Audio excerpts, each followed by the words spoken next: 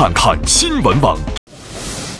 自《小时代》火了整个夏天之后，现在只要提起陈学冬，就会听到尖叫声。这个九零后的大男孩，凭借自己天然呆的气质和忧郁的眼神，演活了周崇光一角。我们都是小小的星辰。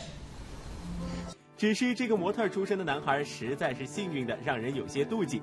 为什么如此完美又讨巧的角色会落到他的头上呢？那可绝对和电影导演脱不了干系啊！其实很早之前认识郭导，然后后来是一个机缘巧合，导演说：“哎，这个我有我这部电影要做了。”他说：“你来面试吧。”很早就认识，看来两个人真的是交情匪浅。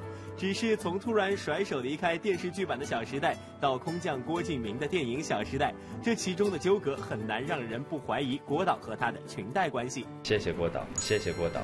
结束《小时代》的盟主迎来了自己的大时代，一时间广告活动邀约不断，背靠郭敬明这个大伯乐果然好乘凉呢。